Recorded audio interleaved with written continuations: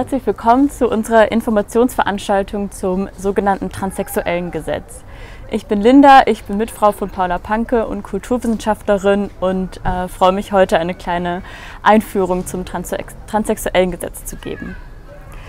Die Änderung des Vornamens und des Personenstandes sind für viele Transpersonen ein sehr wichtiger Schritt, nicht nur für sie selbst, sondern auch, um sicherer durch den Alltag gehen zu können. Transpersonen sind immer noch zahlreichen Diskriminierungen ausgesetzt.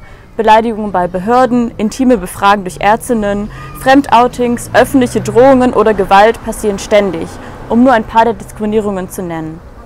Eine noch nicht erfolgte offizielle Namens- und Personenstandsänderung verstärkt diese Diskriminierung massiv.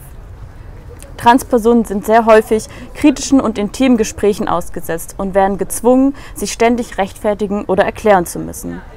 Jede Situation, in der ein Ausweis vorgezeigt werden muss, kann zu einer potenziellen Bedrohung werden und führt in jedem Fall zu einer verletzenden und stressigen Situation für Transpersonen, die eben noch keine Änderung im Pass vorgenommen haben. Gerade jetzt in der Corona-Krise wurde es zum Beispiel besonders wichtig, sich ständig auszuweisen. Bei jedem Corona-Test oder bei der Impfung muss man den Ausweis zeigen, bei Café- oder Restaurantbesuchen ständig die Kontaktdaten angeben, bei jeder Buchung von Tickets nochmal den Pass zur Kontrolle zeigen und so weiter. Dazu kommen noch viele weitere alltägliche Situationen, in denen man sich ausweisen muss. Von Dingen wie Auslandsreisen, dem Unterzeichnen von Verträgen oder Kontakt mit Behörden oder der Krankenkasse und so weiter mal ganz zu schweigen. Eine Vornamens- und Personenstandsänderung kann also extrem wichtig sein für Transpersonen. Das sogenannte Transsexuellengesetz, über das wir jetzt reden, soll in erster Linie gerade eben diese Vornamens- und Personenstandsänderung regeln. Das Gesetz wurde vor über 40 Jahren, also 1980, mit Wirkung ab dem 1. Januar 1981 unter dem Titel Gesetz über die Änderung der Vornamen und die Feststellung der Geschlechtszugehörigkeit in besonderen Fällen verabschiedet. Damals, Anfang der 80er Jahre, war es weltweit überhaupt das zweite Gesetz, das die rechtliche Vornamens- und Personenstandsänderung für Transpersonen regelte. Deutschland war damals also sowas wie ein internationaler Vorreiter der Menschenrechte von Transpersonen, indem es die Existenz von Transpersonen überhaupt erst einmal anerkannt hat und ihnen überhaupt zugesprochen hat, rechtlich in ihrem Identität, Identitätsgeschlecht anerkannt zu werden. Vor 40 Jahren war das noch ziemlich fortschrittlich. Auch wenn damals schon klar war, dass das Gesetz immer noch die Grundrechte von Transpersonen massiv verletzt. Jetzt, über 40 Jahre später, hat Deutschland seine Vorreiterrolle schon längst verloren. Das Gesetz ist völlig überholt und bleibt mittlerweile im Vergleich mit anderen europäischen Gesetzen weit hinterher. Schon der Name des Gesetzes deutet eigentlich darauf hin. Der Begriff Transsexualität, der früher vielleicht häufig verwendet wurde, ist sehr irreführend, da es bei Transpersonen eben in erster Linie nicht um die Sexualität, sondern um die Geschlechtsidentität geht. Transidentität, Transgender oder Transgeschlechtlichkeit sind mittlerweile die bevorzugteren und stimmigeren Begriffe.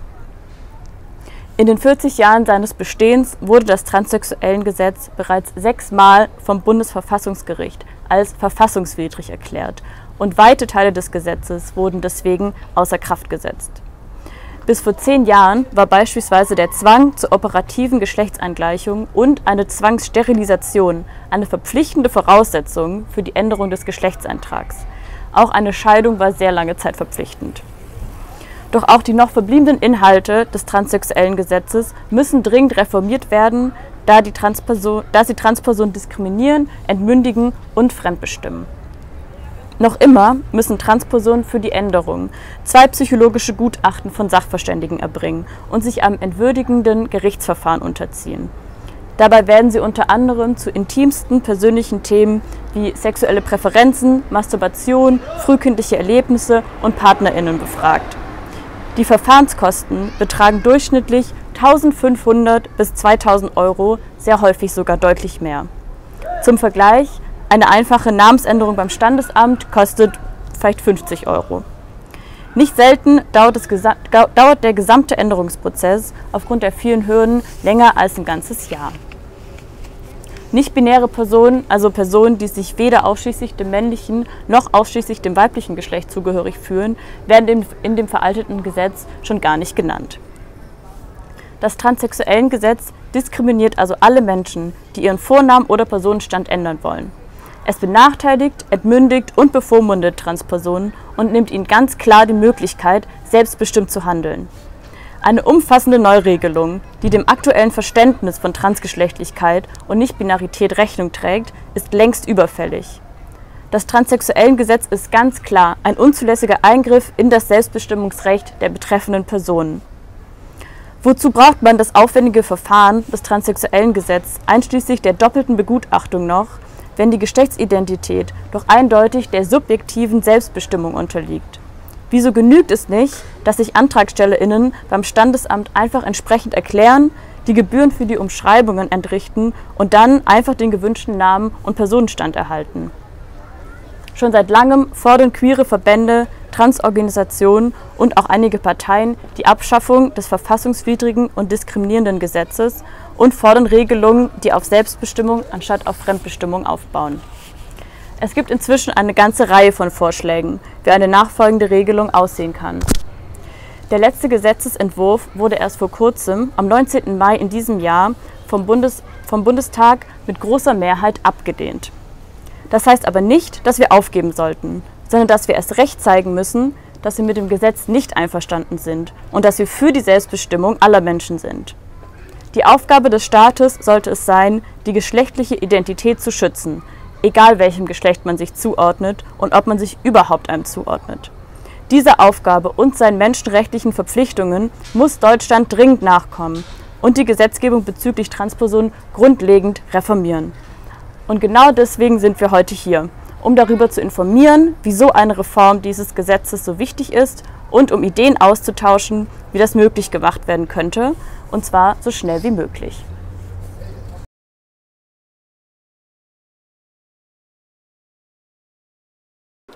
Ja, das war jetzt so die erste Vorstellung von mir insgemein. Ich sitze hier dem Arbeitskreis der Deutschen Gesellschaft für Transidentität und Intersexualität in Berlin und Brandenburg vor, koordiniere da die Hilfsangebote, die wir haben und mache ziemlich viel politische Arbeit. Ja, und äh, ich, ich gebe es zu, ich bin ein bisschen masochistisch veranlagt. Ich bin auch bei der SPD, und zwar bei der SPD Queer sitze ich im Bundesvorstand und im Landesvorstand in Brandenburg. Und wie gesagt, wir kriegen so was wie dieses beschissene TSG, kriegen wir nur mit vernünftiger Politik weg. Unsere Leute haben uns zwar nicht unbedingt äh, sich in der letzten Legislaturperiode mit Ruhm bekleckert, ich weiß aber auch, es war keine Gespräche mit der Union möglich über die Reformation vom TSG. Das ist einfach so. Der Vorschlag von Grünen und FDP, der, die fast deckungsgleich waren, die waren gut. Leider zu umfangreich, die waren nicht konsensfähig. Da haben sie, scheiße, die haben sich nicht nochmal äh, so aufs Glatteis führen lassen, die Parteien in einem rechten Spektrum, wie es eben mit einer Ehe für alle ging. Das hat nicht geklappt. Egal wie es ist, wir machen weiter und ich denke, wenn man das scheibchenweise macht, dass wir sagen, okay, wir gehen weg von dieser ganzen Begutachtungsgeschichte. Mal ganz ehrlich, wer von Ihnen möchte sich denn über seine, haben Sie eine Erektion, wenn Sie nackte Kinder sehen? Das war, der, war die Krönung, die ich jemals gehört habe in einem Beratungsgespräch, dass äh, sogenannte ähm, ja, Begutachter hier an ähm, Fragen für diese ähm, ja, Zertifizierung als staatlich anerkannter Mann an eine staatlich anerkannte Frau äh, gefragt haben. Ich mache jetzt nur seit ein paar Jahren schon auch so Beratungstätigkeiten. Sie können sich, ihr könnt euch nicht vorstellen, was die, was die Leute gefragt werden. Die, die, die, die, das ist sowas von unter der Gürtellinie, sowas von in Ehren. Und letztendlich, es ist ja nicht, äh, ich muss doch für mich entscheiden, wie meine Identität ist. Und das heißt, ich bin der Mensch, der es fühlt und kein Mensch kann in jemand anderen reingucken. Das ist das Erste, was man im Psychologiestudium lernt. Ich kann nicht in den anderen reingucken. Ich kann was beurteilen, aber ich kann nicht reingucken, ob der sich tatsächlich so fühlt.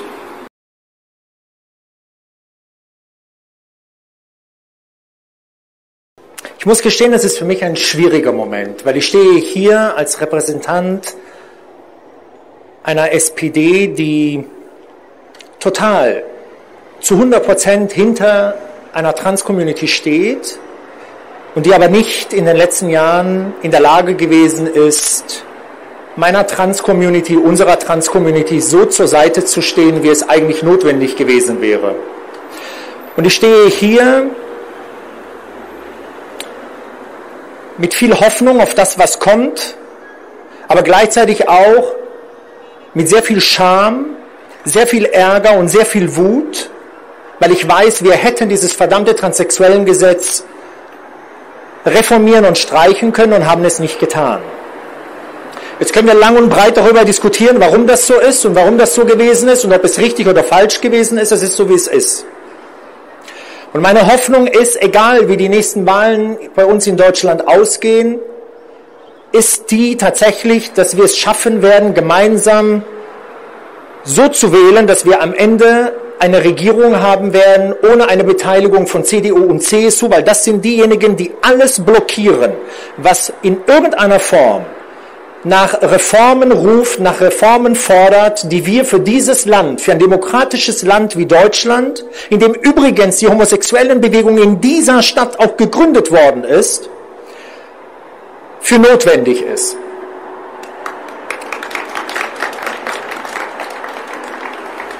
Und ich tue mich schwer, ich tue mich schwer zu sagen, dass alles gut gewesen ist, weil es das nicht gewesen ist. Und dennoch müssen wir nach vorne schauen.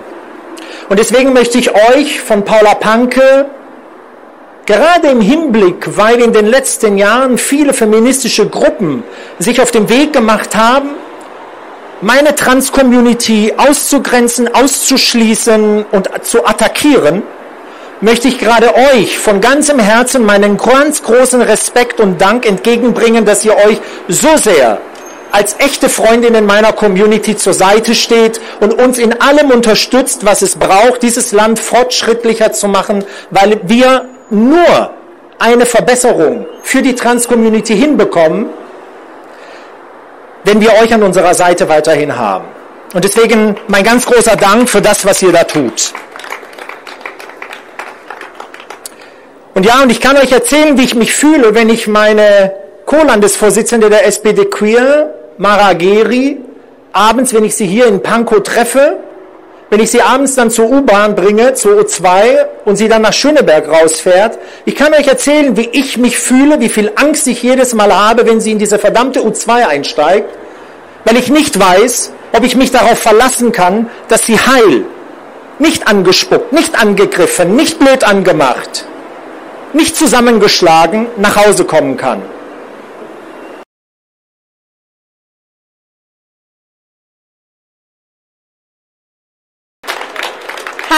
Hallo und moin. Ich möchte mich Alfonsos Dank an Paula Panke unheimlich anschließen, denn ich glaube, es ist total wichtig, dass wir diese gemeinsamen Veranstaltungen haben, um unsere gemeinsamen Ziele auch gemeinsam zu machen. Katrin und Nadja, vielen Dank für die Einladung.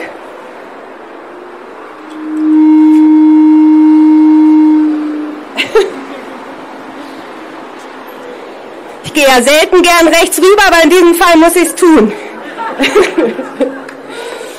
Kurz zu mir. Ich möchte mich vorstellen. Hört man mich so? Ja. Ich bin Oda Hassepass. Ich bin hier die Direktkandidatin in dem Wahlkreis für Bündnis 90 Die Grüne. Ich lebe hier in dem Ort und mich interessieren die Leute vor Ort. Und deshalb bin ich auch hier. Und das ist klar. Feminismus geht nicht ohne Queer. Und Queer-Feminismus geht auch nicht gegen den Kampf gegen Rassismus und sexuelle äh, soziale Ausgrenzung. Wir Grüne wollen eine echte Gleichstellung in allen Gesellschaftsbereichen und wir kämpfen weiter dafür, dass Berlin auch in Zukunft eine bunte, freie und weltoffene Stadt ist.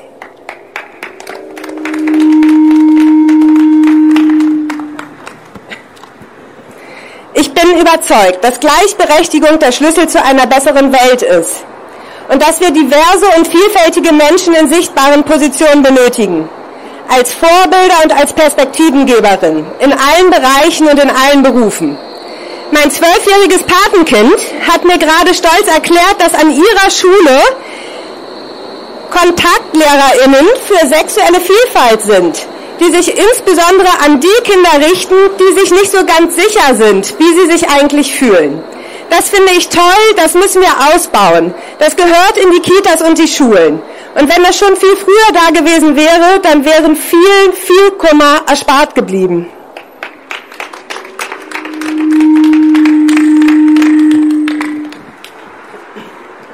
Ich beobachte an meinen eigenen Kindern schon, dass diese klassischen Stereotypen überhaupt nicht mehr angenommen werden.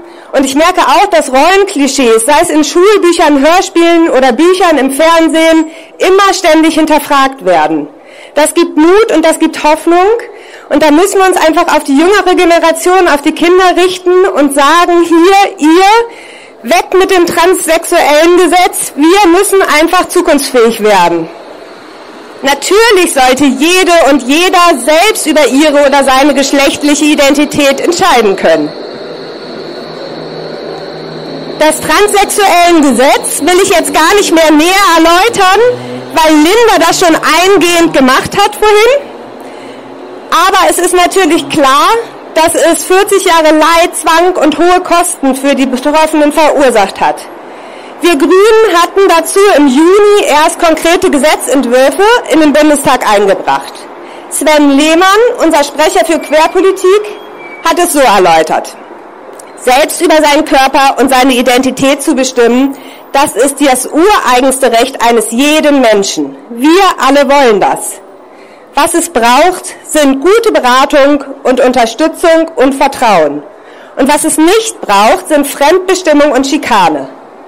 Das unnötige Leid, das trans- und geschlechtergerechtigen Geschle trans- und intergeschlechtlichen Menschen widerfahren ist, muss entschädigt werden. Wir fordern daher schon lange einen entsprechenden Entschädigungsfonds.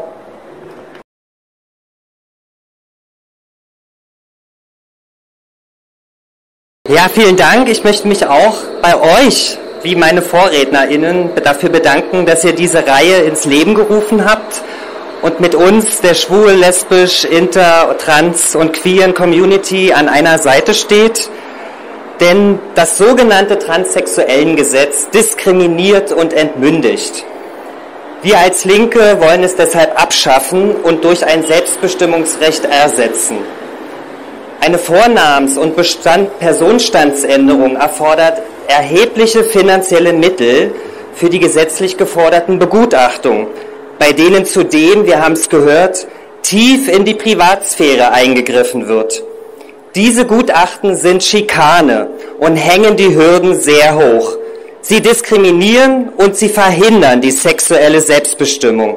Das TSG muss deshalb weg.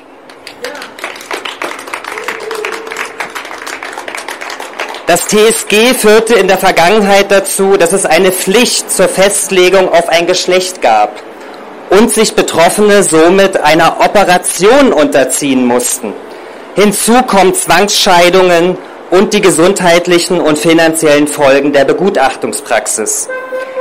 Der Bundesverband Trans schätzt, dass zwischen 1981 und 2011 mehr als 10.000 Menschen in Deutschland im Laufe dieser Verfahren sterilisiert worden sind. Und bis heute werden bundesweit jährlich bis zu 2000 Kinder mit von der binären Norm abweichenden Körpermerkmalen, wie es so schön heißt, Operationen ohne medizinische Notwendigkeit unterzogen.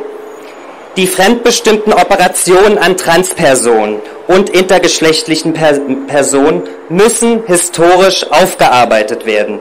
Die davon betroffenen Menschen müssen angemessen entschädigt werden. Deshalb fordern auch wir von der Linke einen Entschädigungsfonds für diese Person.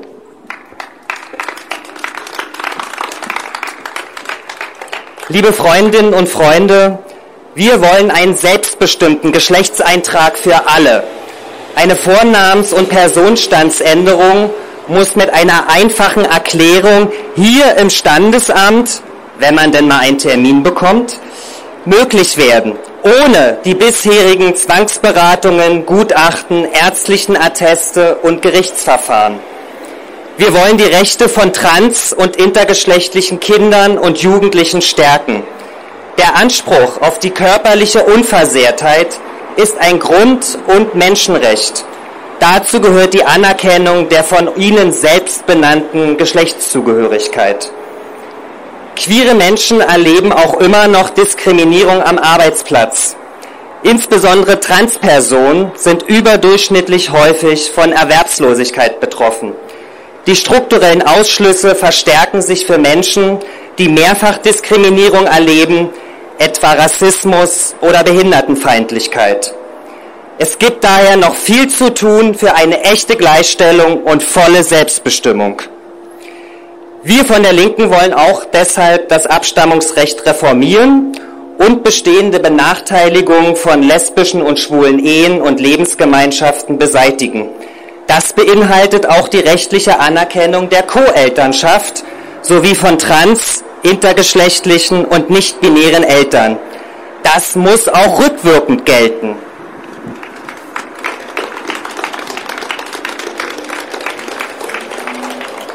Die Rechte von queeren Personen sind für uns nicht verhandelbar.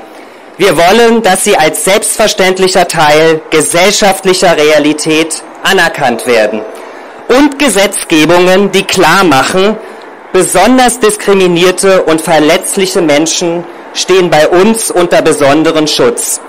Die Erweiterung des Grundgesetzartikels 3 wäre deshalb ein wichtiges Signal. Liebe Freundinnen und Freunde, in Pankow wollen wir deshalb eine bezirkliche Queerbeauftragte als unabhängige Anlauf- und Koordinierungsstelle einrichten. Denn Vielfalt und Selbstbestimmung muss durch konkrete bezirkliche Maßnahmen zur Unterstützung und Empowerment von queeren Menschen umgesetzt und die Bekämpfung von jeglicher Diskriminierung und Menschenfeindlichkeit in Pankow verstärkt werden. Projekte wie Paula Panke und der Sonntagsclub, die sich für Empowerment und gegen Intoleranz und Benachteiligung engagieren, müssen deshalb gegen Angriffe geschützt und gestärkt werden. Das alles schaffen wir nur gemeinsam. Deswegen hat es mich sehr gefreut, dass ich alles von meinen VorrednerInnen hätte unterschreiben können, weil ich glaube, wir sind schon eine relativ große Gruppe. Wir müssen uns nur weiter zusammenkommen und zusammenhalten und uns gemeinsam für unsere Rechte einsetzen. Es gibt viel zu tun, die Rechte von queeren Menschen zu stärken. Heute und an jedem Tag. Vielen Dank.